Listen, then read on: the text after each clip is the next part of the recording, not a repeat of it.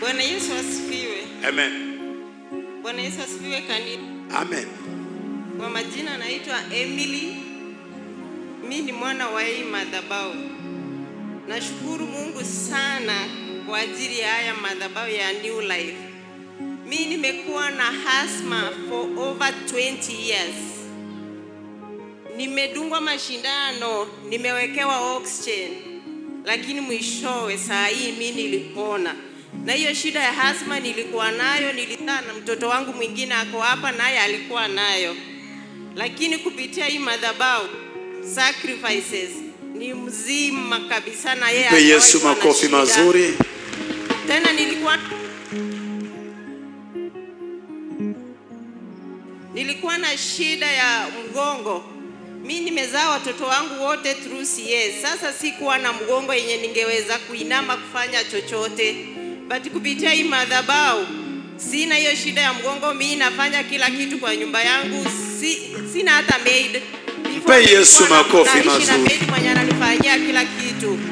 Injili ya Bwana Yesu.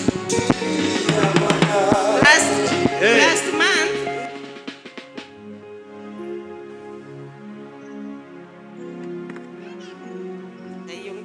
last month tuliku, nili, wakati tulikuwa hapa ukasema mwenye anataka kujengea Mungu kanisa akuje atoe sacrifice. Wakati nilikuja nikatoa sacrifice yenye nilikuwa nayo, ukasema kwa bahasha tuandike mahitaji nikaandika mahitaji. Kuna jirani yangu nilimpeanga building block since 2021 hajawahi nirudishia. Nikaandika nikasema anirudishie bila kwenda kumuulizia juu alikuwa amenyamaza hadi ikafika mahali aniongeleshi na ni jirani yangu. Akiniona ananiona tu kama mwenye sifai, na ndiye alitumia akajenga nyumba. Yeye ameishi kwa nyumba yenye amejenga na blocks, mimi nilikuwa nimeweka nyumba yenye sijajenga na blocks. Sasa sababu alichukua zangu, singeweza kujenga. Sasa siku yenye niliandika hapo, nikasema nikamwandika majina yake anirudishie building blocks zangu zote bila kumu, kumudai. Ukweli anirudishia zote na Mpe Yesu makofi mazuri. na pasa hapa last month nilikuwa hapa nikikwambia nilikuwa na shida mahali pa kazi. Ukweli uliniambia niende nishinde, nilienda nikashinda. Mpaka mwenye ananipiga vita hivi ako kwa shida, sio mimi. Mwenye aliletwa kama replacement yangu, usijui penye alipokelea. Aliyekuwekea magonjwa abebe mwenyewe. Aliyekuwekea uchawi, uchawi mkamate mwenyewe. Back. Amen. Alafu shuhuda ingine pasa yenye sijaitoa nikikuja hapa last year nikiju, wakati ulinipea kazi my penye nilikuanga nimeachiliwa, wale wote wenye walinipiganga vita wakanivuta juu ile time nikivutwa ilikuanga February wakati wa Kilembe Kisumu Crusade. Wakati niliattend those three days crusade, nikapata wameniandikia, wamenisema huyu mtu amelala kwa job, hataki kufanya kazi, anafuata watu kwenda kufuata, yani ana imani na Mungu, imani yake ni ya kufuata fuata watu hapa. Wakati nilimaliza crusade kukuja na prayer cloth na kitambara, eh, prayer cloth na bomb, nikaacha kwa ofisi. Walishika wakatupa, akasema hii ni uchawi na waletea kwa ofisi. Venye nilitoka pasta, watu wote walifutwa njia ingine mbaya kabisa. Ukabaki wewe. Ulibaki. Ah, Hapana, ni pale penye walinifuta, wale walinichochea kazi yangu ya kwanza. Hawako wote. Hawako walifukuzwa, Na wewe uko kazini. niko kazi yenye ulinipea. Unapata mshahara. Ninapata. Unakula vizuri. Eh. Na umepona. Nimepona. Injili ya Bwana wangu.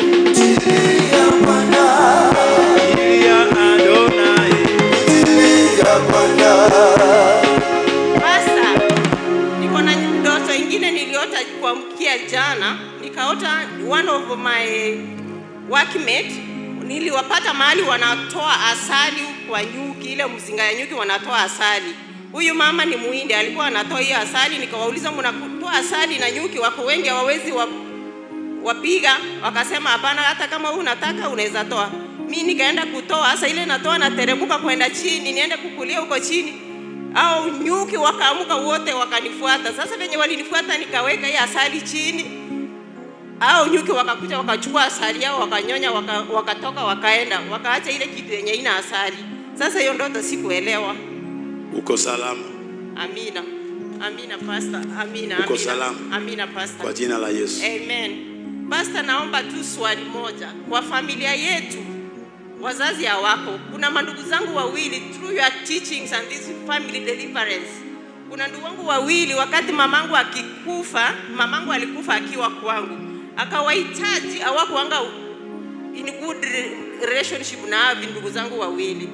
Wakati aliwahitaji kama hajakufa, hawakukuoa, hawakukuwa around, walikuja wakati kama mamangu ako muchari ukweli pasta, mpaka saa hii hawako sawa na hawana ndoa, yaani wako maisha ingine, wamekodesha shamba zao wote mpaka kwa nyumba hawana hata nyumba.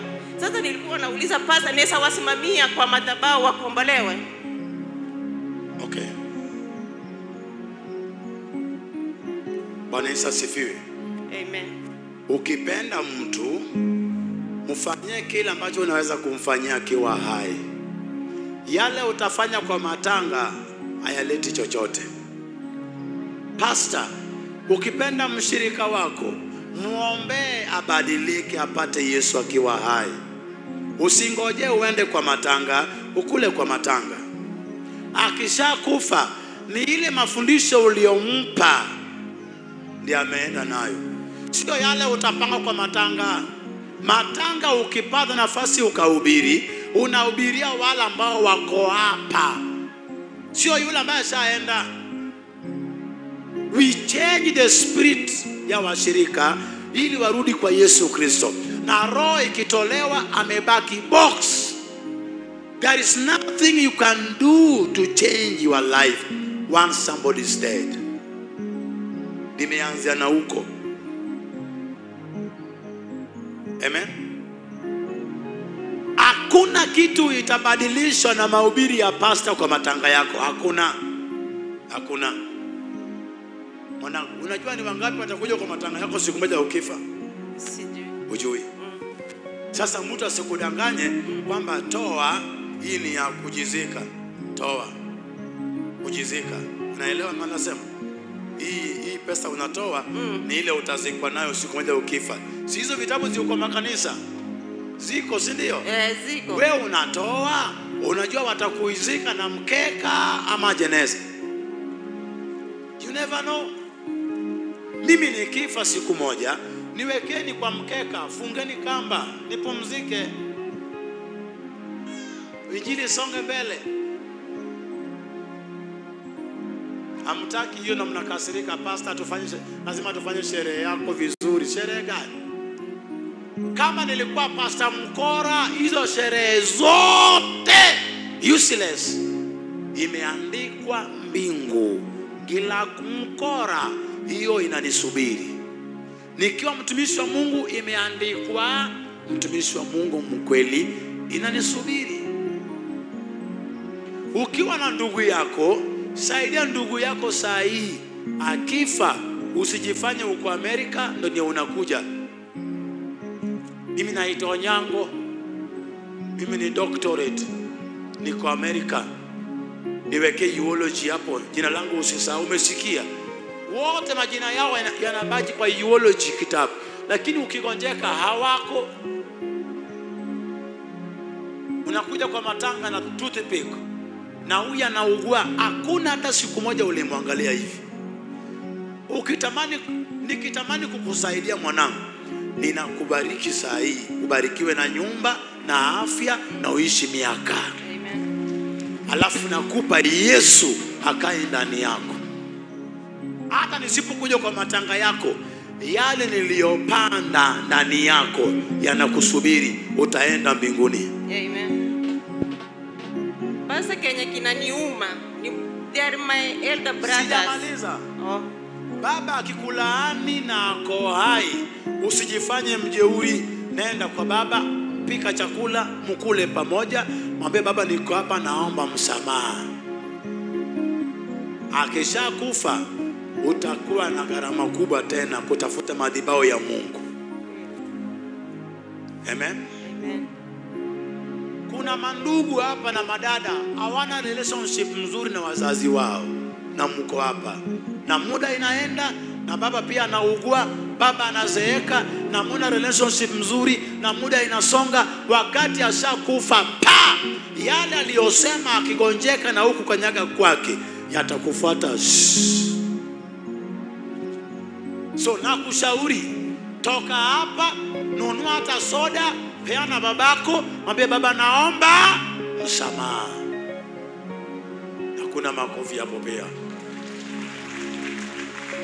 Kama walifanya makosa, baba akafa bila kuomba msamaha, waombe msamaha madhabahuni ya Yesu Kristo. Baba alikuwa amekufa kama tukiwa wadogo sana. Sasa mama ndiye ametulea mpaka tumekuwa watu wazima, tumemaliza shule. Unajua baba alikufa, lakini hakuwa na raha na wao. Because hawakupenda baba. Uhusiano wao haikuwa sawa. Ama mama, Inasema hawa mzazi gani amekufa Mama. akiwa hana uhusiano na hawa? mama baba Let them alikufa. go to the altar, Mm. na wasipoenda waende wafunguliwe. Amen. Hiyo ndio kuvunja madhabahu. Amen. Thank you. Aya.